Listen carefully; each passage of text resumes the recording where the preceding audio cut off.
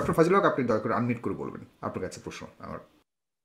যে শুরুতেই ধন্যবাদ জানাচ্ছি সাগর ভাইকে এত সুন্দর একটি বিষয়ের উপর আলোচনার সুযোগ করে দেওয়ার জন্য। আজকের যে বিষয়, বিষয়ের উপরে আমাদের ইতিমধ্যেই আলোচনা করেছেন আমাদের মেজর মোহাম্মদ আলী ভাই, ব্যারিস্টার মোল্লা ভাই এবং অর্ক ভাই সহ। তাদের আলোচনা থেকে যেটা পেলাম যে, মোহাম্মদ আলী ভাই তিনি চিরাচরিত আওয়ামী লীগের নিয়ম অনুযায়ী বক্তব্য দিয়েছেন।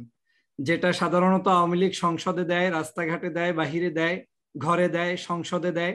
যেই বিরোধী দল নিয়ে তারা রাজনীতি করে, তাদেরকেই আবার তারা বলে যে, এই বিরোধী দল হচ্ছে আমার সামনে তারা হচ্ছে তাদের কোনো লাজ নেই, সরম নেই। এই সব বিভ্রান্তমূলক এক ধরনের বক্তব্য দিয়ে তারা জাতিকে বিভ্রান্ত করে। আজকে বাংলাদেশের বিরুদ্ধে একটি ষড়যন্ত্র। বাংলাদেশের এই র্যাব বাহিনী নিষিদ্ধ বলেন, বাংলাদেশের র্যাব বাহিনীর বিরুদ্ধে অভিযোগ বলেন যাই বলেন, ঘটনাটি ঘটেছে আওয়ামী লীগ সরকারের আমলে। এখানে জামাত ইসলাম রাষ্ট্র ক্ষমতায় নাই বিএমপি রাষ্ট্র ক্ষমতায় নাই, হেফাজতে ইসলাম নাই, কেউ নাই। তেরো বছর পর্যন্ত আপনারা রাষ্ট্র ক্ষমতায়। র্যাব প্রতিষ্ঠার শুরুতেও তো বিএমপির আমলে র্যাব ছিল। তখন রাষ্ট্রীয় নিষেধাজ্ঞা হিসাবে আপনি কি এই র্যাবকে তখন দোষারোপ করে এই পর্যায়ে নিয়ে আসতে পেরেছিলেন? পারেন নাই। আজকে যেই জায়গাটা তৈরি হয়েছে, তিনি শুরুতেই দোষারোপ করেছেন যে জামাত বিএমপির হাত আছে। আজকে বাংলাদেশে সামান্য কোনো একটি অকারেন্স হলেই সেখানে যেমন তারা অভ্যস্ত জামাত বিএনপির হাত, তারা আজকে ইউএস কানাডা আমেরিকা লন্ডন যত বহির্বিশ্ব আছে, সব জায়গায় এখন জামাত বিএমপি কে খুঁজে বেড়াচ্ছে। এটা একটি আমি মনে করি যে তার চিরাচরিত আওয়ামী লীগই অভ্যাস হিসেবে, যদিও তিনি বলেছেন যে তিনি ব্যক্তিগতভাবে মতামত প্রকাশ করবেন, আমি মনে করি তিনি ব্যক্তি পর্যায়ে মতামত প্রকাশ করতে পারেননি, দলীয় পর্যায় থেকে বলেছেন। একটা বিষয় তিনি বারবার বলার চেষ্টা করেছেন ও উদাহরণও দিয়েছেন, তার সন্তান চান্স পেয়েছে। মোহাম্মদ আলী ভাইয়ের জানা উচিত, বছরে শুধুমাত্র তার সন্তান না, এদেশের জামাত শিবির করা, এদেশের মামলার আসামি, এদেশের বিভিন্ন ধরনের ব্যক্তিরা, নির্যাতিত ব্যক্তিরা পর্যন্ত, দেশের বিভিন্ন জায়গায়, বিভিন্ন দেশে স্কলারশিপ সহ তারা কিন্তু পড়তে যায়, তারাও কিন্তু ভিসা চায়। এবং অনেক পরিবার আছে, যেসব পরিবারে মোহাম্মদ আলী ভাইদের মতো এরকম মেজর নাই এমপি নাই তারাও কিন্তু ওই সকল বিশ্ববিদ্যালয়ে পড়তে যায়। এটা এমন না যে একজন মেজর মোহাম্মদ আলীকে র্যাব নিষিদ্ধ ঘোষণার পরবর্তীতেই তাকে স্পেশাল সারপ্রাইজ দিয়ে নেওয়া হয়েছে। তার মানে গভর্নমেন্ট অ্যানাউন্স যে আমরা তোমাকে ফ্রি করে দিলাম, তোমার কোনো টেনশনের কারণ নেই। এটা একেবারেই মানে একেবারেই হালকা একটি উদাহরণ হয়েছে। আমার কাছে এ ব্যাপারটা নিয়ে কোনো গভীরতার মনে হয়নি। আজকে দেখেন বাংলাদেশের এই বিরুদ্ধে যে গভীর ষড়যন্ত্র, এই ষড়যন্ত্রে আমি ব্যক্তিগতভাবে একজন বাংলাদেশের নাগরিক হিসাবে লজ্জিত, অপমানিত। কারণ হচ্ছে আমার দেশের পুলিশ হোক, র্যাব হোক, আর্মি হোক, বিডিআর হোক, এরা যারাই থাকবে, সে আমার দেশের মানুষ, তার সম্মানে আমার দেশের সম্মান বৃদ্ধি পাবে। আজকে আমেরিকা, আজকের যে নিষেধাজ্ঞা জারি করেছে, এটা সমস্ত র্যাবের উপরে নিষেধাজ্ঞা জারি হয়েছে। উনি যেটা মোল্লাবাই বলার চেষ্টা করেছিলেন যে আজকে তারা ঠুঙ্কো আরেকটি রেপোর্ট নিয়ে তারপরে তাদেরকে জায়েজ করার চেষ্টা করছেন যে তাদেরকে সরকার ইতিমধ্যেই তাদের প্রতি ভালোবাসার বহিঃপ্রকাশ প্রকাশ করা শুরু করেছেন। অথচ আপনি দেখেছেন যে ভয়াবহ রেপোর্ট আজকে র্যাবের এই সাতজনার এই সাতজনের একজন ব্যক্তিরও যদি জমা জমি, টাকা পয়সা থাকে, সেটা সে দেশে ব্যবহার করা নিয়ে সন্দেহ রয়েছে। তারা সেটা ব্যবহার করতে পারবে না। তারা ভিসা পাবে না। র্যাব বাহিনীর সদস্য পর্যন্ত কোনো অবস্থায় সেই দেশে যাওয়ার মতো সুযোগ নেই। যদিও যায়, তাহলেও দেখা যাবে যে তাদের অনেক সমস্যার মধ্যে পড়তে হবে। এখন এই র্যাবকে আজকের এই জায়গায় কারা নিয়ে এসেছে? এই জায়গায় তারা নিয়েছে যারা মোহাম্মদ আলী ভাইয়ের মতো রাজনীতি করে। আজকের এই র্যাব বাহিনীকে অপরাজনীতিতে স্বীকার করে দেশের মানুষকে খুন গুমের শিকার করেছে। আজকের বাংলাদেশের হাজার হাজার নাগরিকরা বারবার বলার চেষ্টা করেছে, এদেশের র্যাব বাহিনী কর্তৃক আজকের মানুষদেরকে অযাচিত ভাবে হত্যা করা হচ্ছে, জুলুম করা হচ্ছে, মৃত্যুর কোলে ঢুলে দেওয়া হচ্ছে। আওয়ামী লীগের আজকের কমিশনারকে সেই কক্সবাজারের আজকে তাকে হত্যা করেছে, র্যাব যে ক্রস ফায়ার দিয়েছে সেটার মোবাইলের ডিভাইসে তার সেই কান্না জড়িত কণ্ঠ পরিবার সহ বিশ্ববাসী দেখেছে। তারপরেও তারা বলবে, র্যাব ভালো মানুষ। আজকে দেখেন একজন লিমন ঝালকাঠির ব্যক্তি, অন্যায় করেনি, কিচ্ছু জানে না। তার পা নেই, পাকে গুলি করে, র্যাব তার গুলি করে তার পা ধ্বংস করেছে। আজকে দেখেন বাংলাদেশের এই যে সেভেন মার্ডার হয়েছে নারায়ণগঞ্জে, সেই সেভেন মার্ডারের সাথে ষোলো জন আজকের ফাঁসির আসামি যারা উচ্চ আদালতে এখন রায়ের অপেক্ষায় আছে, সেই ষোলো জন ব্যক্তিদের এই রাজনৈতিক চক্রান্তের কারণে র্যাব আজকের এই সুপার পাওয়ার হয়েছে। আপনি কি দেখেছেন? যে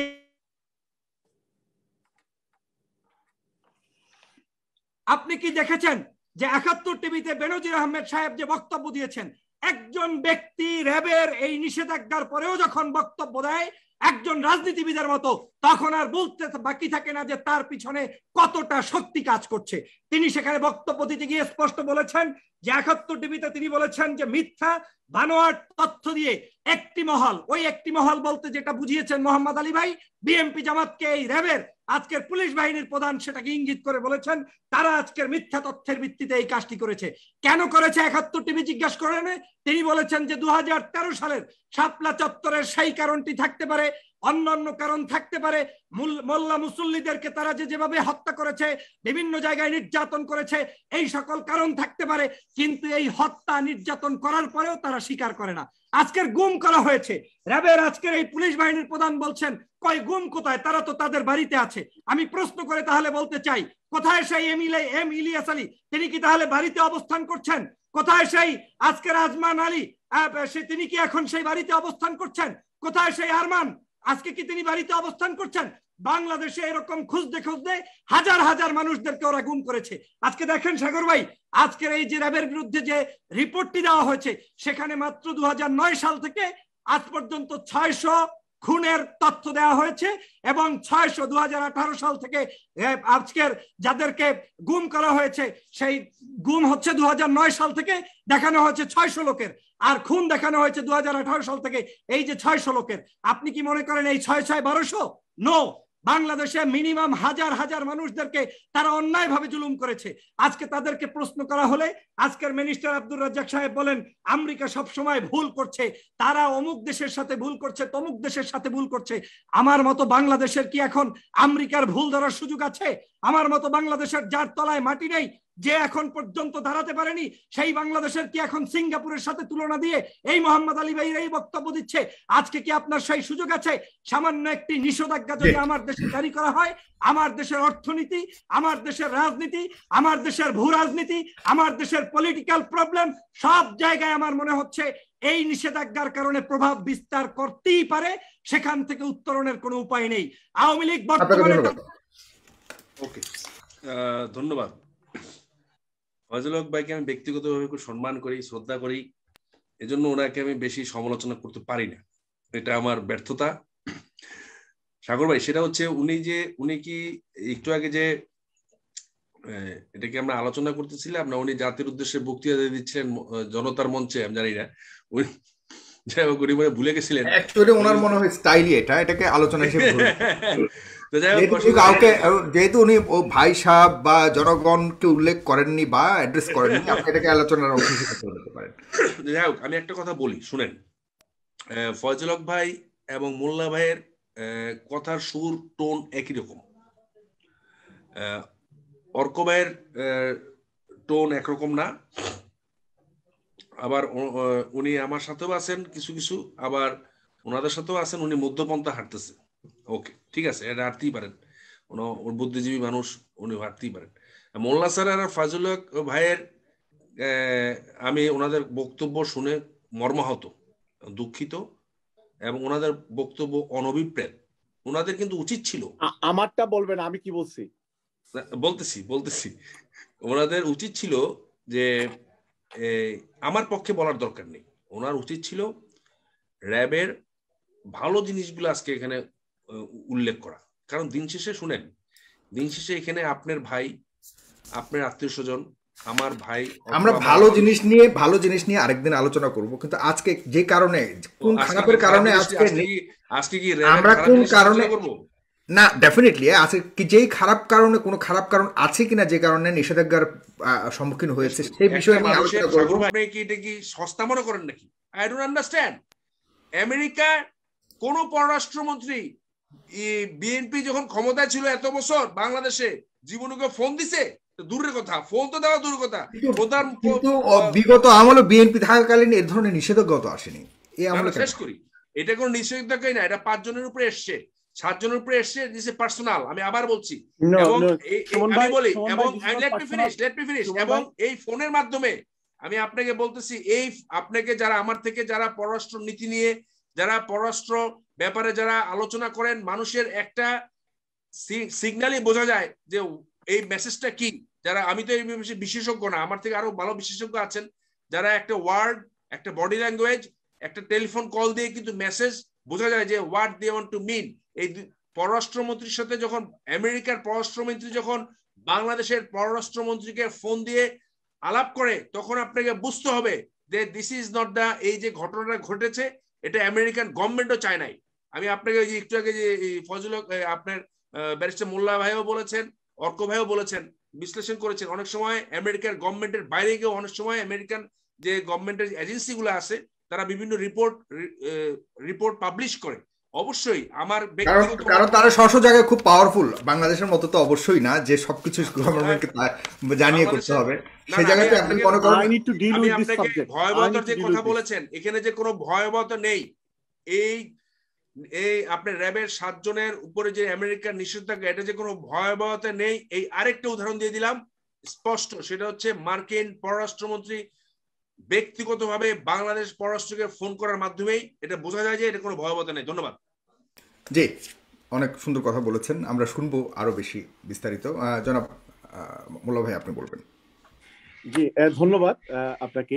আমি আবার একটু কারেক্ট করতে চাচ্ছি। মোহাম্মদ সুমন ভাই হয়তো খেয়াল করেননি। এখানে কিন্তু সাতজন না। প্রথমে র্যাব এবং ছয়জন কর্মকর্তা। র্যাব এজ এ প্রতিষ্ঠান।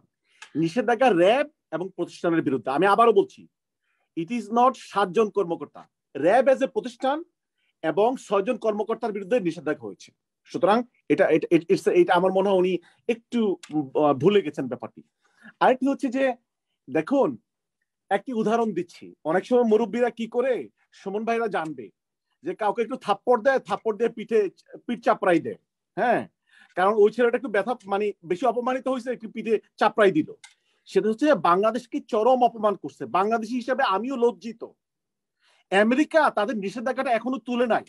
হ্যাঁ র্যাবের অনেক ভালো ভূমিকা আপনি আপনি যদি লজ্জিত হয়ে থাকেন আপনি যদি মোল্লা ভাই লজ্জিত হয়ে থাকেন কষ্ট পেয়ে থাকেন তবে আজকে আলোচনার মাধ্যমে আপনি আমেরিকার গভর্নমেন্টকে বলেন প্রত্যাহার করার জন্য। এটা তো বলতেছেন না। এটা তো বলবেন না আপনি। আপনি বলবেন না ফজল ভাই বলবেন আমি বলছি আমি চাই কি জানেন?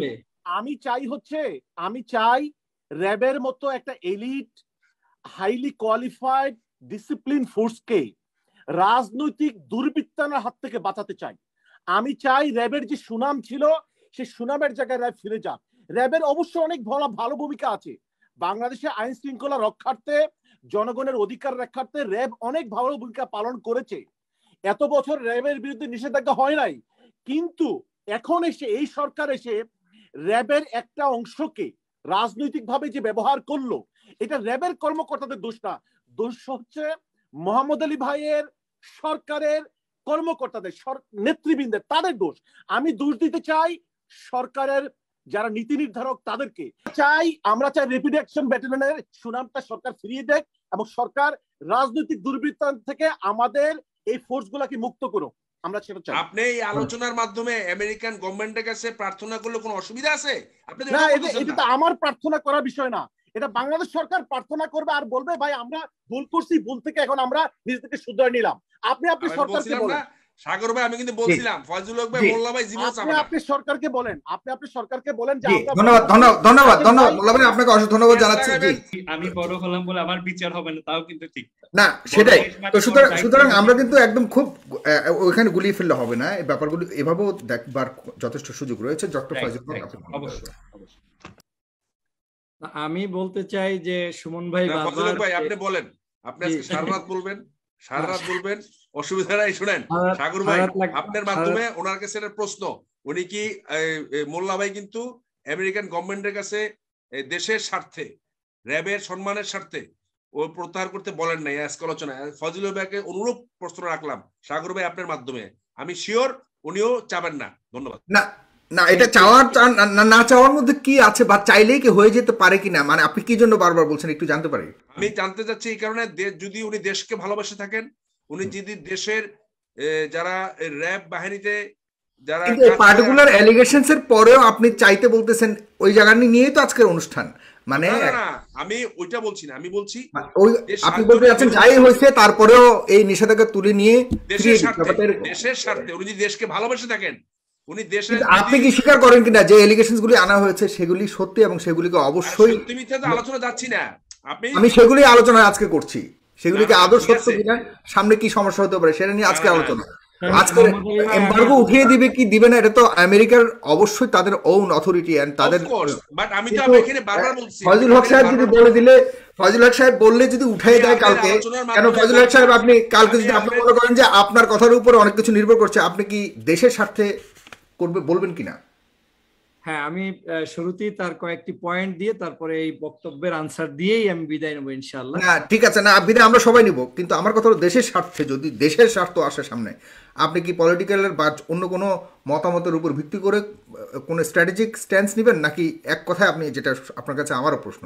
এই ব্যাপারে আপনার কাছে আমি যে প্রশ্নটা রাখতে চাই যে আমি ভিকটিম আমাকে আপনি হত্যা করেছেন নির্যাতন করেছেন গুম করেছেন না আমার জাতীয় স্বার্থের প্রশ্ন এখানে জাতীয় স্বার্থের হ্যাঁ দেশের জন্য বাংলাদেশের এটা অবশ্যই আমাদের দেশের জন্য কখনোই মঙ্গল বয়ে আনবে না। আপনি চান কিনা এদের এই ধরনের জাতীয় স্বার্থ? অবশ্যই অবশ্যই চাই যে এদেশের মানুষের মুক্তির জন্য এদেশের মানুষের ভালোর জন্য কোন ধরনের এই ধরনের পলিটিক্যাল কারণে আমাদের র্যাব পুলিশ কেউ বিতর্কিত হয়ে কোন জায়গায় আজকে তারা বন্ধ না যখন জাতীয় স্বার্থের প্রশ্ন আসবে এখানে খুব হ্যাঁ জাতীয় স্বার্থে আমাদের উচিত আমাদের উচিত তাদেরকে উদ্ধার করা তবে সেক্ষেত্রে উদ্ধারের তো আমাদের নিজেদেরকে সংশোধন করতে হবে। জি আপনার কথা আমি যে কথাটা বলতে চাই মোহাম্মদ আলী ভাইদের কথা স্পষ্ট। আমি যখন কথা বলি অনেক সময় কথাগুলাকে ডাইভার্ট করে পলিটিক্যালি নিয়ে নেওয়া হয়। কিন্তু বিষয়টা হচ্ছে আজকে আপনি যখন গুম করেন হত্যা করেন মারেন নির্যাতন করেন শিবির বলে গুলি করেন জামাত বলে গুলি করেন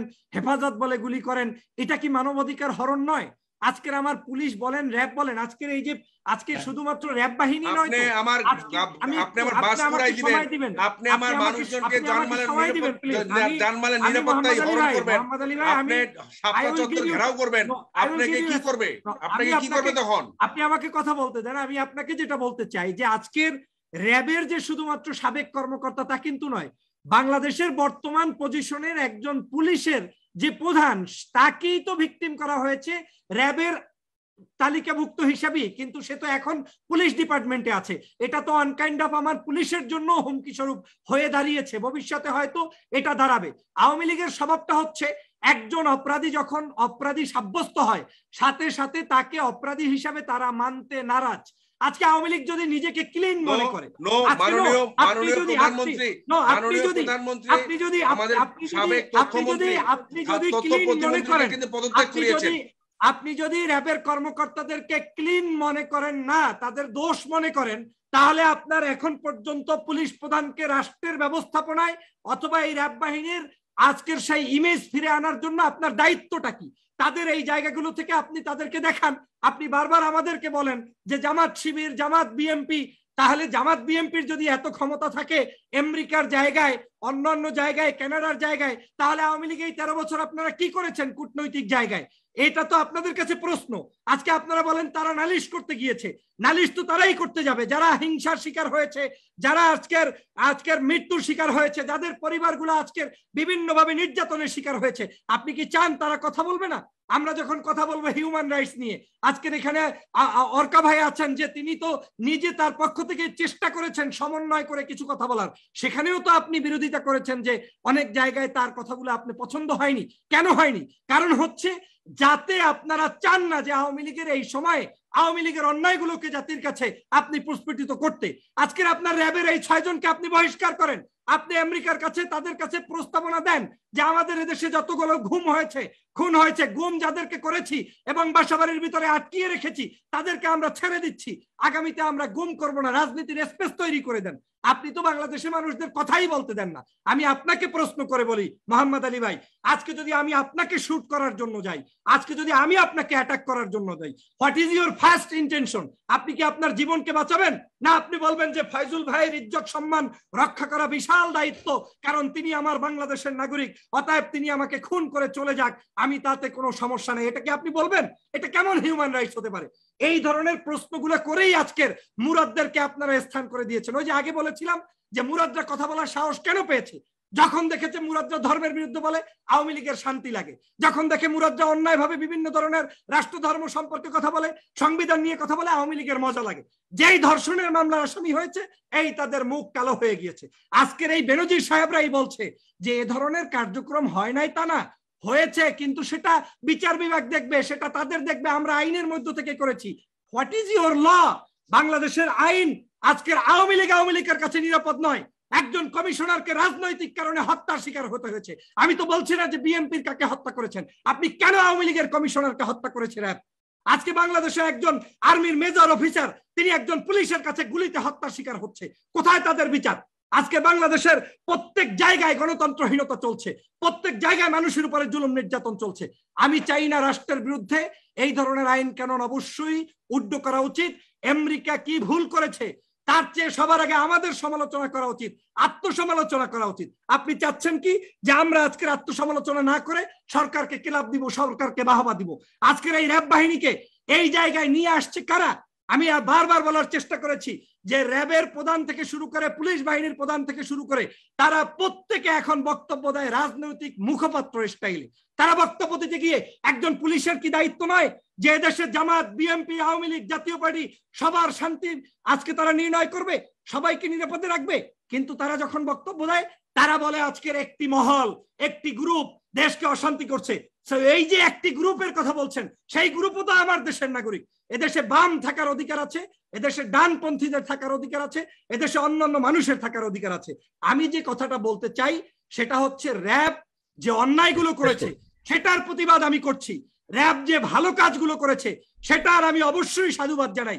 বাংলাদেশের র্যাব বাহিনীকে বিলুপ্ত করার পক্ষে আমি নই। যে আজকেই র্যাব বিলুপ্ত করতে হবে। যদি র্যাব দিয়ে বাংলাদেশের সন্ত্রাস দমন হয় আমি সেই র্যাবের পক্ষে।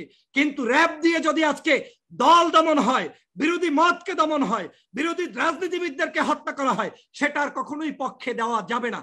একজন রাজনীতিবিদ হিসাবে মোহাম্মদ আলী ভাই যে বক্তব্য দেওয়া উচিত ছিল আজকে জাতি বিভ্রান্ত হয়েছে। আপনি এই কমেন্টস পড়েন যে এই যে ফেস দ্য পিপল চলছে অথবা আপনার সাথে যত টকশোতে আসি বাংলাদেশের মানুষরাই তো কমেন্টস করছে নাকি? না ইংলিশে কমেন্টস করছে বিদেশ থেকে কেউ এসে?